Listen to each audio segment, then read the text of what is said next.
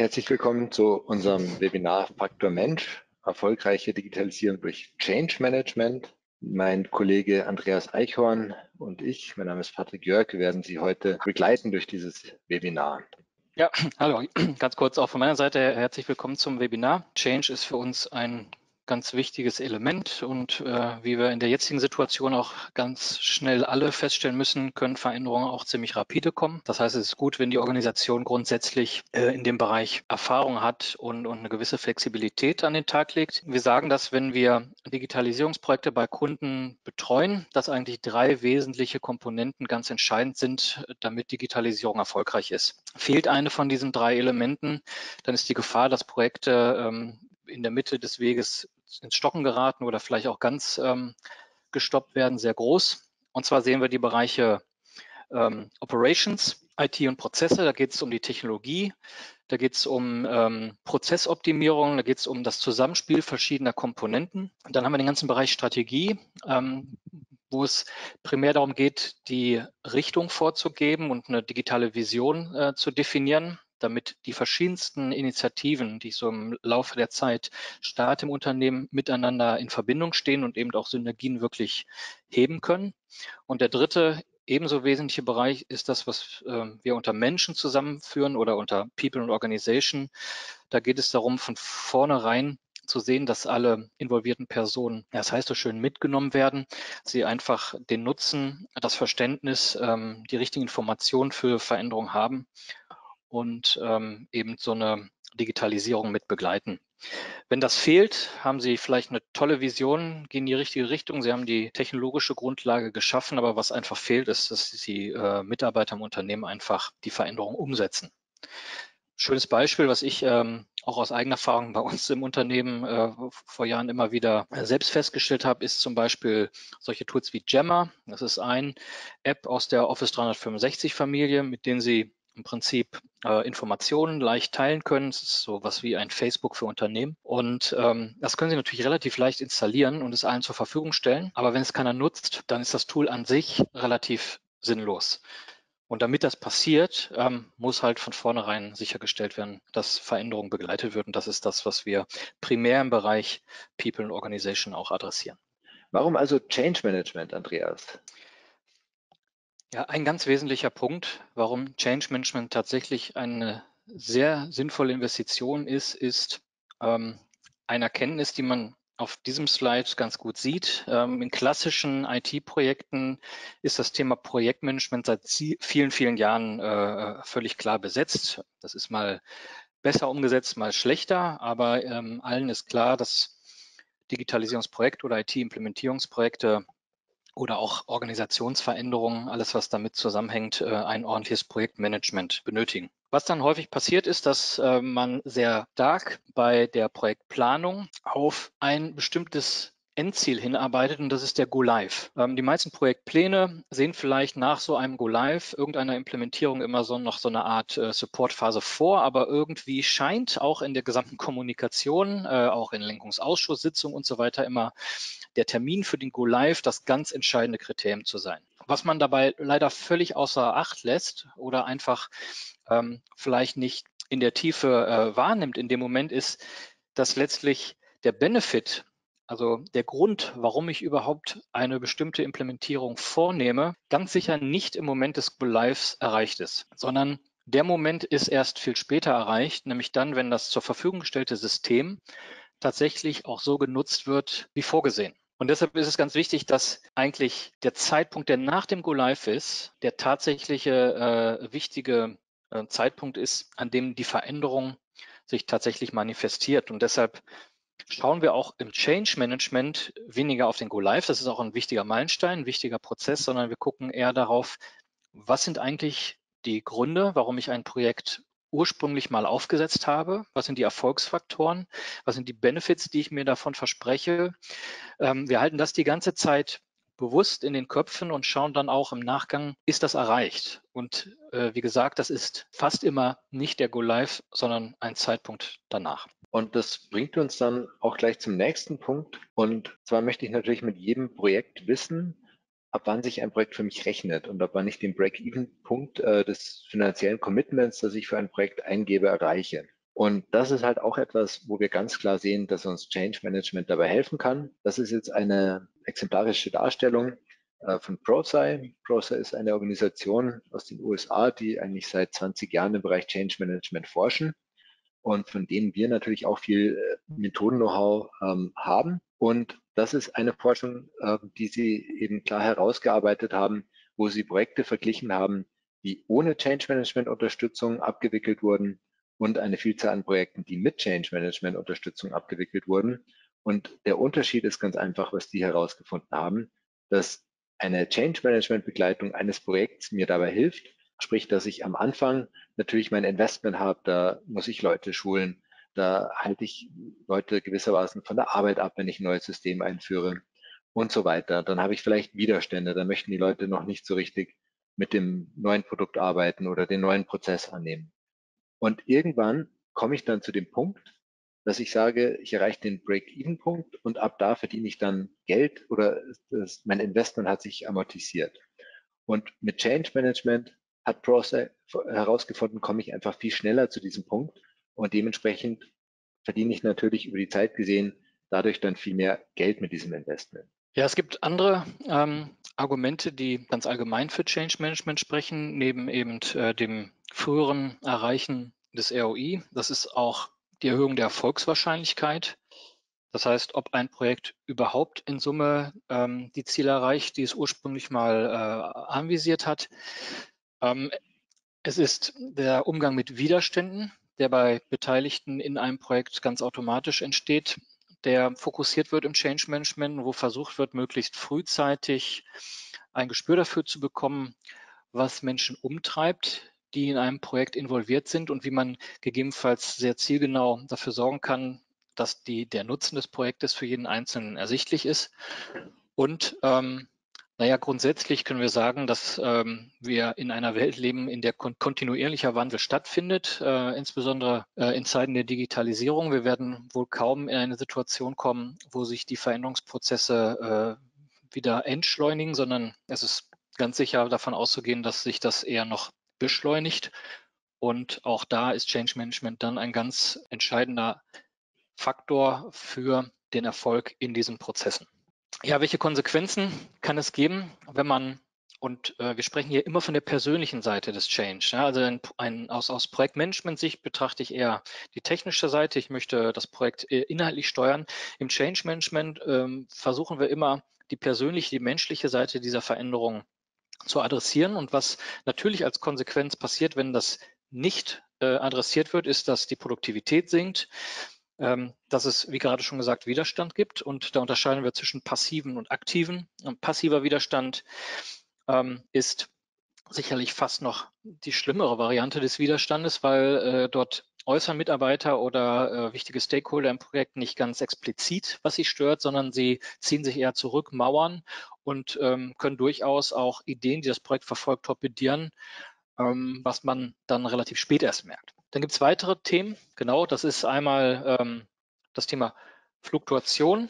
In der heutigen Zeit, wo wir ganz häufig in einem Arbeitgebermarkt sind, äh, in einem Arbeitnehmermarkt, meine ich, äh, wo es schwierig ist, die, die, die Mitarbeiter fürs Unternehmen äh, zu finden und zu begeistern und auch langfristig zu halten, ist natürlich Fluktuation grundsätzlich äh, ein Riesenproblem. Change Management versucht auch das zu adressieren, also die Fluktuation zu reduzieren.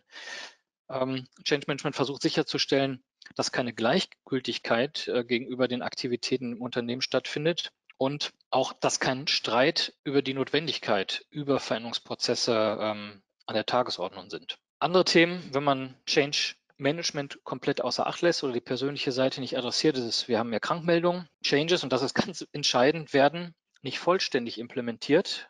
Das ist auch wieder ein schönes Beispiel für diese Grafik, die wir gerade gesehen haben mit dem Go-Live und dem tatsächlichen ähm, Zeitpunkt, wo, wo, die, wo der Nutzen des Projektes generiert wird. Denn ganz häufig äh, durchlaufen wir bestimmte Prozesse und denken, wir haben jetzt diesen Change vollzogen, aber er ist eben nicht vollständig vollzogen, sondern es ist ein Flickenteppich und dann ähm, erzeugen wir natürlich auch nicht den Mehrwert. Ähm, ja, Sollprozesse werden nicht gelebt, sondern man versucht sich irgendwelche Wege zu finden, die einem das ermöglichen zu tun, was man immer schon vorher gemacht hat. Mitarbeiter können alte Muster zurückfallen. Ähm, deshalb ist bei uns im Change Management auch das Thema Reinforcement, nennen wir das, also die, die Vertiefung, stetige ähm, Wiederholung der Notwendigkeit von Change ganz wichtig. Projekt kann gestoppt werden. Und was Sie auch häufig ähm, erleben in Projekten, wo die menschliche Seite eben nicht adressiert wird, dass ganz schnell ähm, Mauern aufgebaut werden und dann heißt es wir und die. Und äh, anstatt dass Abteilungen aufeinander zugehen und übergreifende Prozesse gemeinsam gestalten, was ja zum Beispiel bei Einführung von ERP immer ein ganz wesentliches Ziel ist, ähm, bauen sie Mauern auf und ähm, ja, versuchen irgendwie diese Zusammenarbeit erst recht nicht zu unterstützen. Und auch das ist etwas, was man unter allen Gesichtspunkten vermeiden sollte. Jetzt wäre interessant mal, wie, wie sieht denn so ein Prozess aus? Wie gehen wir denn Change überhaupt an oder was ist unter Change überhaupt zu verstehen? Prinzipiell ist es ja so, dass jemand, der, der eine Veränderung durchläuft, da drei Phasen durchläuft. Ja. Wir befinden uns anfangs von so einer Veränderung immer in einem Ist-Zustand. Da fühle ich mich wohl. Das ist zum Beispiel, wie meine Prozesse heute funktionieren, ein IT-System, das ich heute verwende und so weiter. Und jetzt muss ich mal ganz trivial ja einen Transformationszustand durchlaufen, um zu einem zukünftigen Zustand zu kommen. Und das heißt dann eben, wie werden diese Prozesse in Zukunft funktionieren? Da ist dann sehr viel Unsicherheit dabei. Aber das, das ist auf jeden Fall dieser künftige Zustand, wo ich da mal hin muss, wenn ich mich verändern muss oder möchte. Genau. Und wenn wir jetzt schauen, wie das dann konkret aussieht, dann ist es so, dass für jedes Individuum, eigentlich jeden Projektmitarbeiter im Projekt, diese Transformation zu durchlaufen ist. Das heißt, es gibt immer diesen Ist-Zustand da, wo wir starten. Ähm, also wie mache ich meine Arbeit heute als Mitarbeiter, als Projektmitglied? Dann gibt es diesen Transformationszustand und dann den zukünftigen. Das heißt, wie mache ich dann meine Arbeit nach dem Change? Und ähm, ganz häufig ist die Situation gegeben, dass das sehen wir ja in der unteren Zeile, dass während des Transformationszustandes eben nicht alle äh, diese Transformation mitmachen.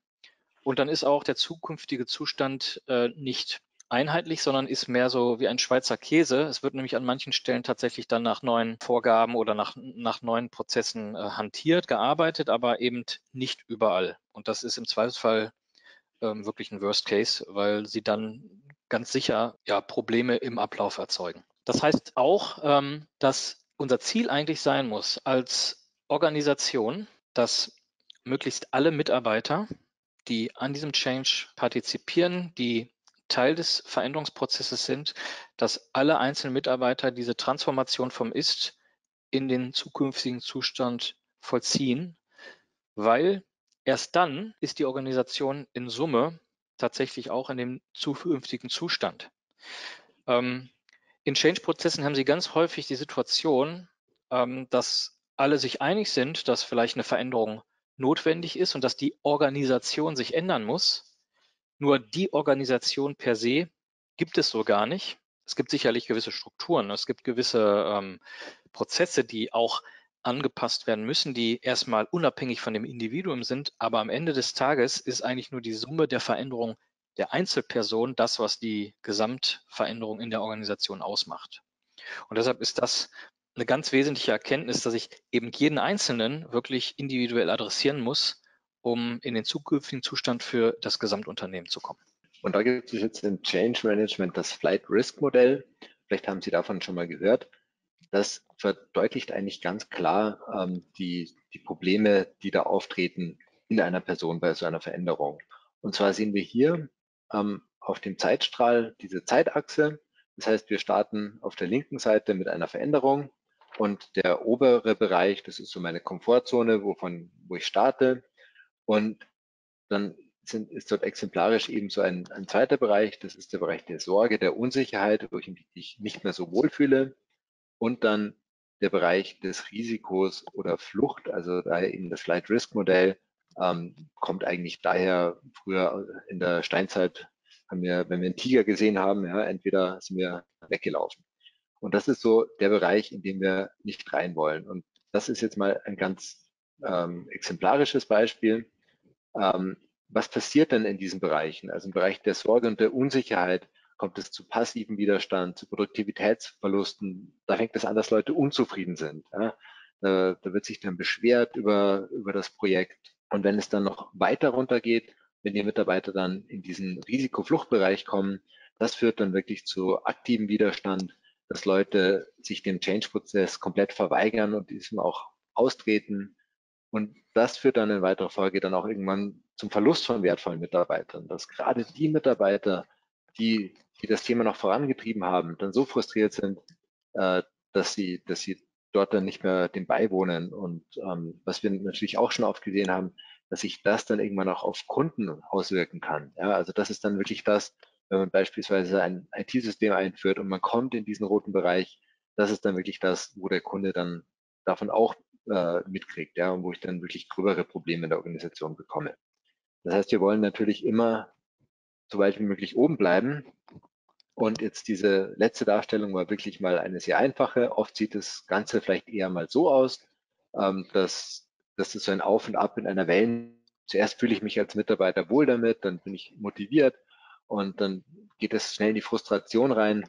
Und im Change Management, unsere große Aufgabe ist eben, dass wir durch eine stetige Kommunikation und ein stetiges Abholen der einzelnen Individuen schauen, dass wir die Leute da oben in dieser Komfortzone halten. Jetzt sieht das Ganze natürlich auch oder kann auch ganz anders aussehen, weil in einer Organisation läuft typischerweise nicht nur ein Projekt, sondern es laufen drei Projekte simultan oder noch mehr und dann während bei einem Projekt, wie jetzt hier Projekt 1, das vielleicht äh, sich relativ weit oben abspielt, ähm, kann es bei Projekt 3 ganz anders aussehen.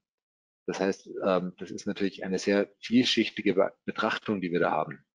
Oder es könnte zum Beispiel auch sein, dass ein Projekt in Abteilung A alles im grünen Bereich ist und Abteilung D schon komplett ähm, ausgetreten ist aus dem Change-Prozess und sich dessen komplett verweigert. Also das soll Ihnen eben nur zeigen, wie vielschichtig das Ganze ist und es ist eben sehr schwierig, sowas auf einem einfachen 2D-Modell darzustellen. Ja, jetzt gibt es in dem Zusammenhang auch ein weiteres wichtiges Modell, mit dem wir sehr intensiv arbeiten und das ist das sogenannte ATKA-Modell. ATKA steht für die fünf Phasen, die Sie ja rechts sehen, von Awareness, Desire, Knowledge, Ability und Reinforcement.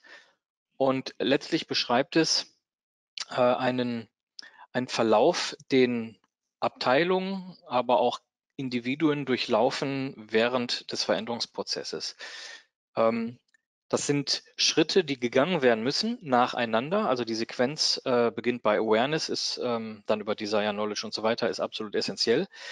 Ähm, die gegangen werden müssen, damit man erfolgreich Change umsetzt. Und ähm, die einzelnen Begriffe bedeuten jetzt hier Awareness, erstmal, dass der Mitarbeiter versteht, dass es Veränderungen gibt, warum es diese Veränderungen gibt und was vielleicht auch die Konsequenzen wären, wenn die Veränderung nicht vorgenommen würde. Äh, der John Cotter spricht da auch gerne von Sense of Urgency. Ähm, das hilft natürlich. Also je dringlicher etwas ist, umso klarer ähm, bin ich mir über die Bedeutung und, und Sinnhaftigkeit äh, eines Veränderungsprozesses bewusst. Wenn wir mal das Beispiel aktuell nehmen, Covid-19, Leute sitzen alle im Homeoffice, auch wir beide sitzen heute hier im Homeoffice, machen das Webinar eben nicht wie sonst zusammen in einem äh, Raum.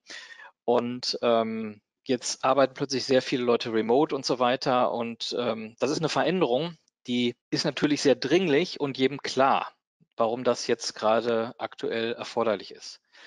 Ähm, Im Projektverlauf ist das manchmal etwas schwieriger zu überbringen. Deshalb muss man da sehr viel Augenmerk drauf legen. Der nächste Punkt ist Desire. Das heißt, jeder Mitarbeiter muss selber für sich die Frage beantworten, was ist da für mich drin? Also Englisch Wort ist in, in it for me. Wir beantworten da die Frage, was habe ich davon, wenn ich diesen Veränderungsprozess mitgehe? Und das ist nicht unbedingt eine egoistische Einstellung. Es ist eine grundsätzlich äh, menschliche Frage, die in so einem Veränderungsprozess beantwortet werden muss und wo man vielleicht auch sehr individuell darauf eingehen muss. Knowledge wäre dann die Fähigkeit oder erstmal das Wissen, nicht die Fähigkeit, sondern das Wissen, ähm, diesen Veränderungsprozess umzusetzen. Also beispielsweise, wenn ich ein neues CRM-System einführe, ähm, wäre hier einfach die, die Kenntnis, wie, wie, ich dieses System bediene, ähm, der entscheidende Punkt. Also habe ich Ahnung, wie es geht. Wenn ich das habe, reicht das aber noch nicht, weil ich muss auch noch befähigt werden, es zu tun. Also Ability spricht hier an, dass ich auch in der Lage bin, tatsächlich das Wissen umzusetzen. Und der letzte Punkt ist Reinforcement. Reinforcement meint, dass diese Veränderung, die angesteuert ist oder angesteuert wird, ähm, auch immer wieder betont und immer wieder verstärkt wird. Also dass wenn Personen beispielsweise ihr Verhalten geändert haben, so wie es der Veränderungsprozess vorsieht oder äh, sich wünscht, dass das dann auch positiv sanktioniert wird zum Beispiel. Oder dass es besonders herausgestellt wurde, dass das jetzt eine Änderung ist, die genauso gewünscht ist und die auch nach wie vor immer noch genauso gewünscht ist. Ähm, weil gerade an der Stelle stellen wir in Change-Prozessen häufig fest, dass zwar am Anfang klar gesagt wurde und Leute es auch verstanden haben, aber wenn das nicht nochmal wiederholt wird im längeren Verlauf, den so Veränderungsprozesse ja haben können, dann geht das manchmal wieder verloren. Deshalb ich muss es immer wieder betonen, ich muss immer wieder darauf hinweisen, dass der Change, dass die Veränderung, die äh, vorgenommen wird, eben auch nach wie vor gewünscht und richtig ist. Jetzt haben wir im Prinzip einmal so den Change allgemein uns angeguckt und was das für jeden Einzelnen bedeutet. Ähm, Patrick, jetzt würde ich dich bitten, beschreib doch mal die, den Prozess des Change Management so, wie Cosmo ihn lebt oder wie Cosmo ihn auch äh, Kunden anbietet, in Projekten begleitend zu unterstützen. Genau, wir haben für uns da ähm, diesen Prozess in, in drei Phasen untergliedert. Zum einen schauen wir uns mal, und, und wir haben ihn unten da noch so eine Projektlaufzeit auf, äh, aufgemalt, die man so typischerweise aus, aus dem Projektmanagement kennt. Und wir untergliedern das in der ersten Phase erstmal diese, die geht typischerweise so bis zum Projektstart, wo man wirklich sagen würde, da würde ich jetzt mit dem Projekt beginnen. Dann kommt danach so diese, die Phase des Begleitens des, der Veränderung. Und wenn ich dann beim Projektende bin, das wäre vielleicht so mein Punkt des Go-Lives, da komme ich dann wirklich in diese Nachbereitungsphase rein, ähm, auch in dieses Reinforcement, was Andreas gerade erzählt hat, wo ich wirklich den, diese Veränderung nachhaltig im Unternehmen verankern möchte. Und Sie sehen dann in den Phasen, also in der Phase zwei gibt es eben verschiedene Pläne. Das sind so diese, das ist so der, das Hauptaugenmerk des Change Managements. Da schaue ich zum einen, dass ich die Kommunikation strukturiert über diese ganze Change-Laufzeit hinweg ähm, plane. Ähm, dann ist das Thema Sponsoren ein großes Thema. Sponsoren äh, würde man vielleicht klassischerweise als Stakeholder bezeichnen. Und das sind im Endeffekt alle, ähm, oder im Change Management betrachten wir da alle Leute, die ähm, einen gewissen Einfluss ausüben können und die von diesem Change betroffen sind. Also das heißt typischerweise Führungs- und so weiter. Ja. Dann ähm, geht es natürlich auch darum, um das Coaching, das heißt, um, um diese Sponsoren dann auch zu befähigen, diese Veränderung äh, zu begleiten. Ja, das heißt, ich muss natürlich einer Führungskraft, ähm, die jetzt Teil eines äh, einer Organisation ist, die ein riesiges neues System einführen muss und die da äh, ganz entscheidend dazu beitragen kann, dass ihre Abteilung ähm, da, da voll dabei ist und, und da mitzieht, ähm, da muss ich mich natürlich erstmal hinsetzen und dieser Führungskraft genau erklären, was wir da vorhaben, äh, wie, ähm, dann, dann muss auch, wenn Sie sich gerade erinnern an dieses Light Risk Modell, dann muss auch erstmal diese Führungskraft oder diese Sponsoren müssen erstmal selbst diesen Prozess durchlaufen, um, ähm, um da dabei zu sein und dieses Tal der Tränen durchlaufen, um dann wirklich ähm, ihre Mitarbeiter da auch motivieren zu können. Das passiert alles im Coachingplan. Resistenzmanagementplan, das ist das große Thema Widerstände, natürlich auch ein ganz großes Thema im Change Management. Ähm, dafür haben wir natürlich auch einen eigenen Plan, wo wir dann äh, Strategien haben, diese mit diesen Widerständen umzugehen. Und zu guter Letzt einen Trainingsplan, wo wir uns halt auch überlegen, ähm, wie, wie, wie wir die Leute schulen. Ähm, jetzt springen wir mal in die erste Phase rein. Das heißt, wie gehe ich strukturiert so einen Prozess typischerweise an? Zuerst muss ich natürlich mal eine Analyse machen. Das heißt, eine Analyse der Organisation, mit der ich mich beschäftige und auch eine Analyse mit der Veränderung, die diese Organisation durchführen möchte. Das heißt, da definiere ich dann einmal klar die Zielgruppe. Ähm, wer, ähm, wer soll denn wirklich von dieser Veränderung äh, profitieren? Wer ist da betroffen? Ähm, wie groß ist diese Veränderung auch? Die, ich muss mir vielleicht auch mal anschauen, wie ist denn die Unternehmenskultur in dieser Organisation? Und ähm, zu guter Letzt muss ich natürlich auch ein Budget, ich diese Analyse durchgeführt habe, kann ich mal klar für mich sagen, ähm, oder kann ich mal das Risiko dieser Veränderung auch abschätzen. Und der zweite Schritt ist dann eben basierend auf dieser Analyse, dass ich den Change Management Ansatz definiere und festlege. Das heißt, ich mache mir eine Strategie. Ähm, ich definiere eine Teamstruktur mit Verantwortlichkeiten. Das heißt, ich muss natürlich das auch mit dem Projektmanagement eng abstimmen. Kommt auch sehr darauf an, wie groß dieses Veränderungsprojekt ist. Habe ich da vielleicht auch ein Projektmanagement-Team oder nur einen Projektmanager? Habe ich äh, Berater oder andere Experten, die ähm, ihr Expertenwissen ähm, einbringen, um, um diesen Projekt durchzuführen? Da muss ich die Rollen und Verantwortung der Sponsoren definieren. Das heißt, das ist, was ich gerade mit diesen Stakeholdern angesprochen hatte. Und da bereite ich dann auch die Implementierung vor. Und der dritte Schritt ist dann, ist eben, dass ich diese fünf Pläne, die ich gerade vorgestellt habe, dass ich diese erstelle und mir wirklich genaue Gedanken mache, wie kommuniziere ich, ähm, wer sind die Sponsoren, äh, wie ähm, befähige ich diese Sponsoren, welche Widerstände könnten auftreten und wie gehe ich mit diesen Widerständen um und wie schule und trainiere ich die Leute. Genau, wir würden dann in Phase 2 übergehen, ähm, nachdem wir im Prinzip vorher die Situation analysiert äh, haben und darauf äh, aufbauend dann Entscheidungen getroffen haben, wie wir das ganze Thema angehen, dass wir den Change tatsächlich begleiten. Ähm, das hängt natürlich auch immer von dem konkreten Veränderungsprozess ab. Manche sind halt kurzfristige Projekte, wo das eine sehr äh, knackige, kurze Begleitung ist. Bei manchen, äh, zum Beispiel ERP-Einführung, äh, dauert das auch manchmal eins, zwei Jahre, je nachdem, wie komplex und groß das Projekt ist.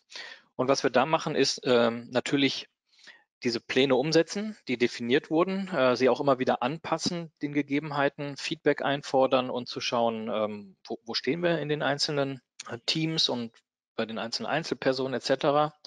Und was wir machen, ist natürlich, dass wir versuchen, Widerstände frühzeitig zu entschärfen. Das heißt, wir versuchen erstmal präventiv Widerstände vorher schon zu identifizieren oder uns im Klaren zu werden, wie verschiedene Gruppen innerhalb der Veränderung auf diese Veränderung reagieren, was ihre Argumente dagegen sein werden ähm, und welche Gründe es geben könnte, dass Widerstand entsteht und ähm, versuchen halt eben präventiv darauf einzuwirken.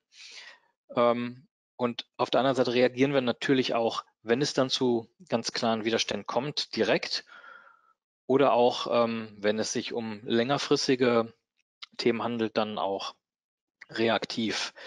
Ziel ist natürlich immer präventiv und proaktiv das Ganze anzugehen. Deshalb folgen wir halt diesem strukturierten Prozess. Ja, und dann gehen wir eigentlich in Phase 3 über, nämlich den Change verfestigen. Wir hatten das im ADGA-Modell gerade schon gesehen. Dieses Thema Reinforcement ist ganz wichtig. Das heißt, ähm, das passiert parallel, dass man immer wieder Feedback einholt, es analysiert und darauf reagiert, äh, dass man dann auch die Pläne anpasst. Ähm, auch die bleiben nicht statisch, sondern sind dynamisch während eines Projektes, ähm, dass man tatsächlich kleine und große Erfolge tatsächlich feiert, dass man auch schaut, dass man möglichst schnell sogenannte Quick Wins ähm, umsetzt. Das heißt, wenn man zum Beispiel in einem komplexen Softwareprojekt kleinere Bereiche hat, wo man relativ schnell ähm, zum Beispiel einzelne Apps oder einzelne Funktionen zur Verfügung stellen kann, die einen großen Mehrwert bieten, dann sieht man halt zu, dass man das möglichst ähm, zu Beginn macht, sodass die Wahrnehmung des Gesamtprojektes von vornherein eine positive ist, weil äh, Mitarbeiter von vornherein eben auch schon äh, Nutzen erkennen können. Und was man eben auch versucht, ist diesen neuen Status quo zu stärken. Das macht man durch gewisse Kommunikation, das macht man durch gewisse Events, äh, das macht man ähm, durch Workshops, wo immer wieder auch allen Beteiligten bewusst gemacht wird, wo Veränderung schon erfolgreich umgesetzt ist. Weil diese Reflexion ist im Veränderungsprozess auch extrem wichtig. Ähm, tu Gutes, sprich darüber, ist die eine Facette und auf der anderen Seite auch, dass Mitarbeiter untereinander ihre Wahrnehmung äh, miteinander austauschen, damit alle wirklich wahrnehmen und erkennen, was schon alles positiv sich verändert hat. Ja, letztlich haben wir hier nochmal eine Übersicht dieser einzelnen Pläne, über die der Patrick gesprochen hat, also vom Kommunikationsplan über Sponsorenplan etc. bis zu den Trainingsplänen. Und wir sehen, wie das wiederum in dieses ADCA-Modell einzahlt. Also hier ist natürlich ganz klar, dass ähm, sowohl Kommunikationsplan als auch ein Sponsorenplan als auch ein Coachingplan alle dazu geeignet sind, den Punkt Awareness zu verbessern, also das Verständnis, warum der Change da ist, warum er sinnvoll ist, äh, was passiert, wenn man ihn nicht ähm, berücksichtigen würde.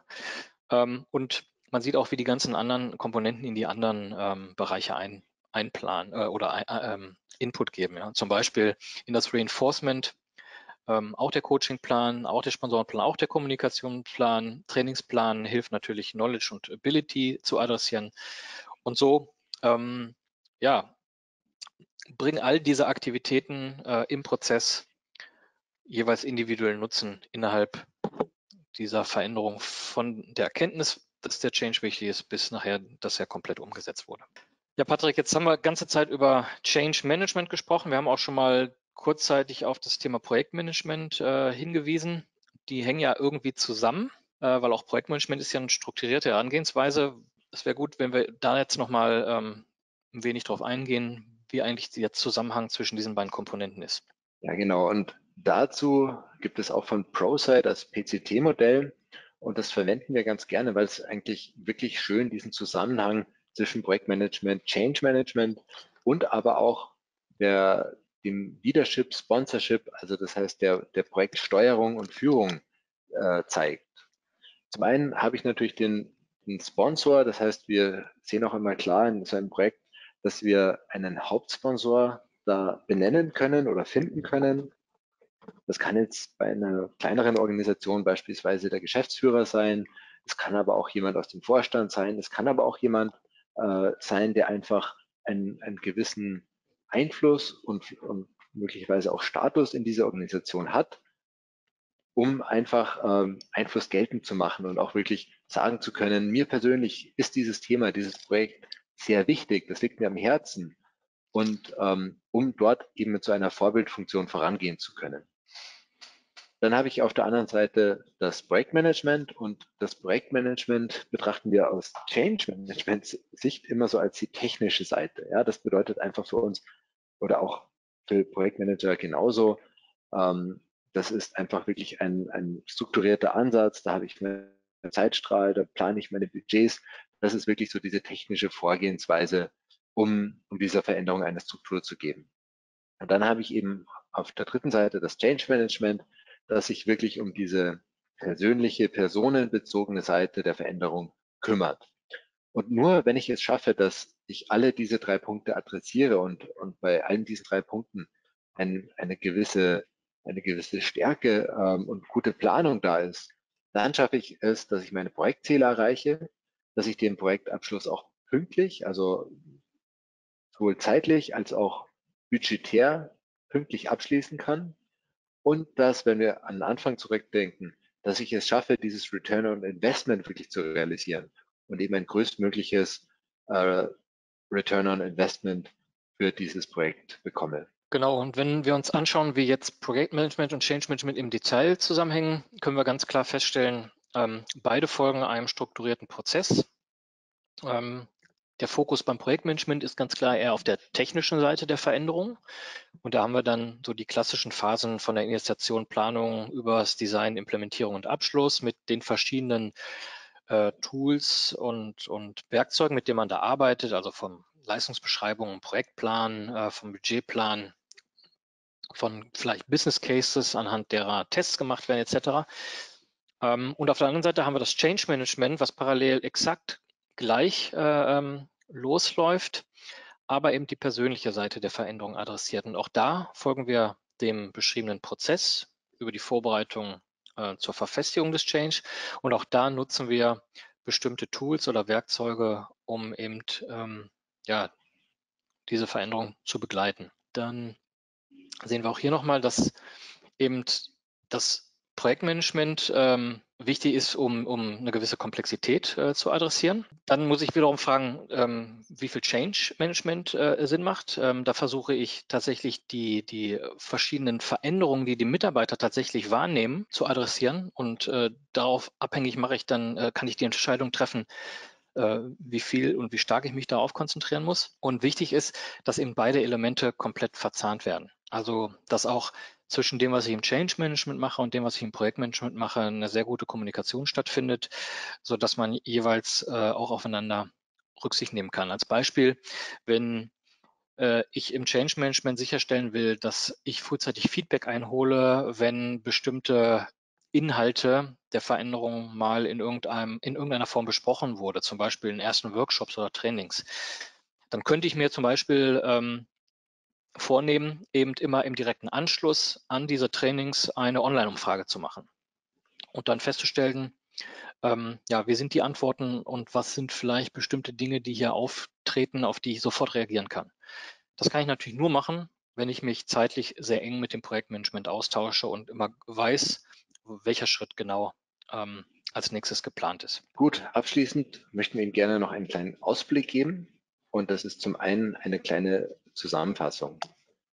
Auch hier sehen wir von ProSci noch eine, einen Ausschnitt aus der letzten Studie von 2018. Sie haben eben herausgefunden, dass wenn, wenn Change Management wirklich effektiv ist, dass man sechsmal erfolgreicher ist. Das heißt, sechsmal so viele Projekte schlagen nicht fehl, wenn ich wirklich sehr gutes Change Management dabei habe. Und auf der anderen Seite sehen wir nur bei 15 Prozent, ähm, das sind jetzt 15 Prozent der Projekte, die dann schlechtes Change Management hatten aus dieser Umfrage heraus.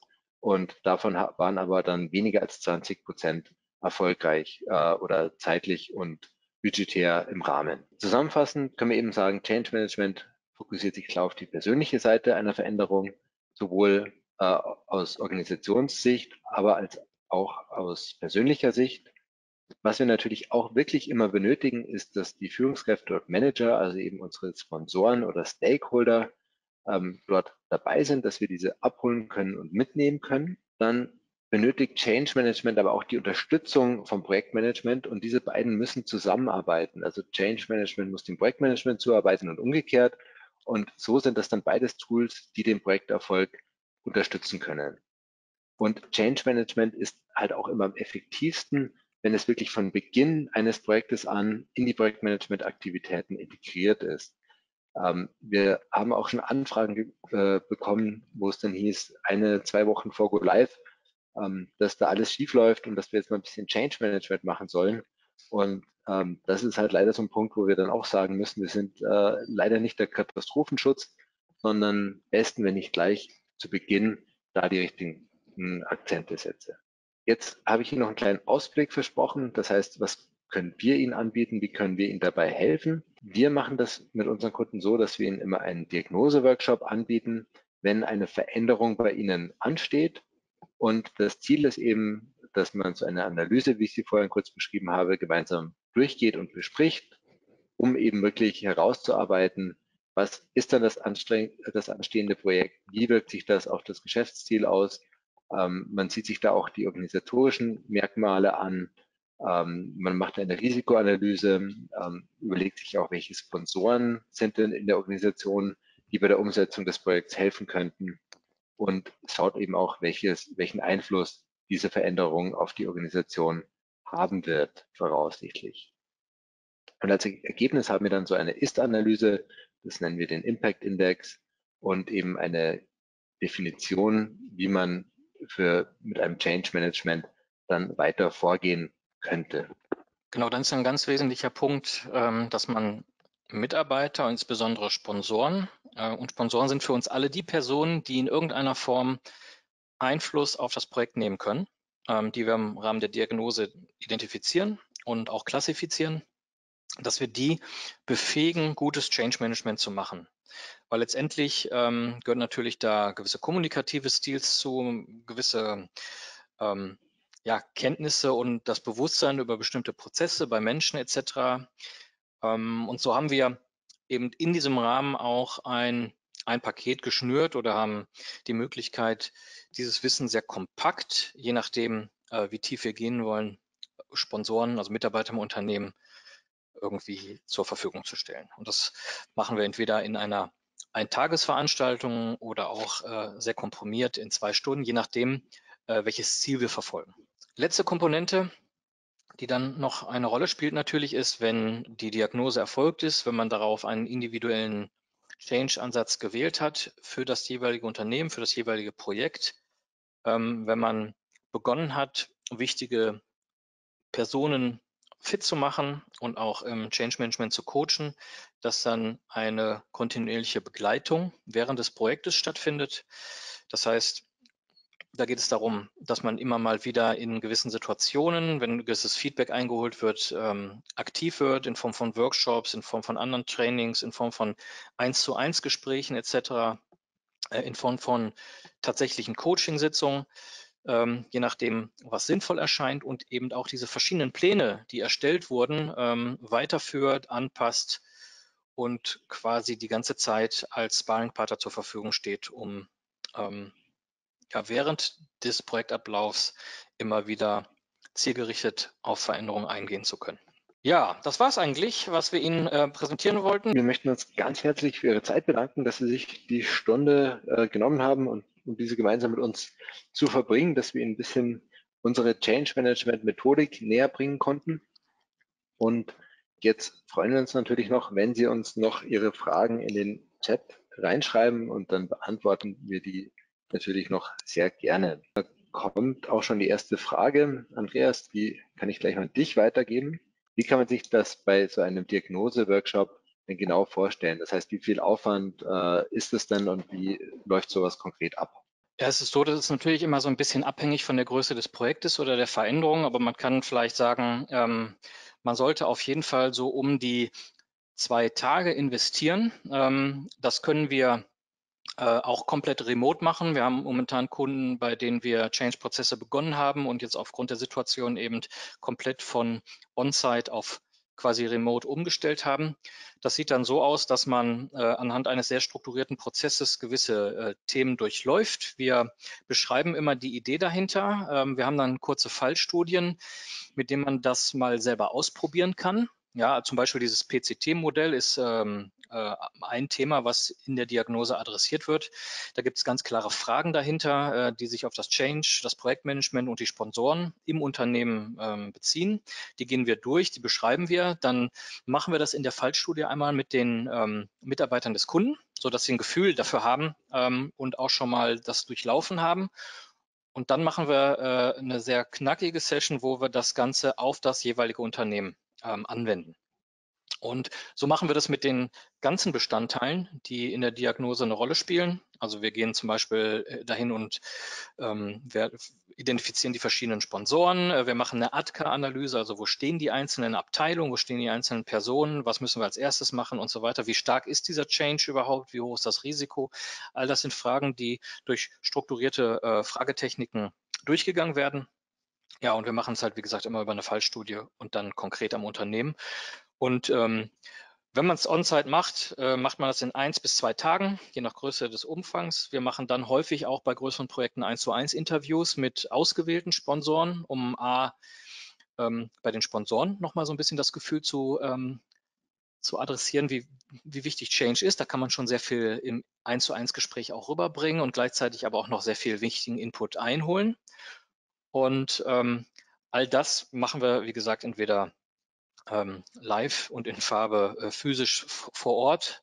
Ähm, wir können aber auch alle Komponenten komplett remote durchführen. Und da machen wir es dann halt ein bisschen anders, indem wir das in kleinere Slots einteilen, die man auch nicht alle an einem Tag hat, sondern die man über eine Woche oder sowas verteilen kann.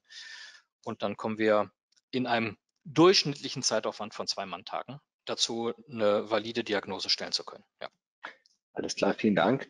Ähm, dann habe ich gleich noch eine Frage und die ist, ähm, die ist auch für dich, weil du bist da der Experte, was kulturelle Unternehmensformen angeht. Ähm, wo sehen Sie die Veränderung durch Digitalisierungsprojekte bei der Organisation? Sprich, braucht es neue Organisationsformen?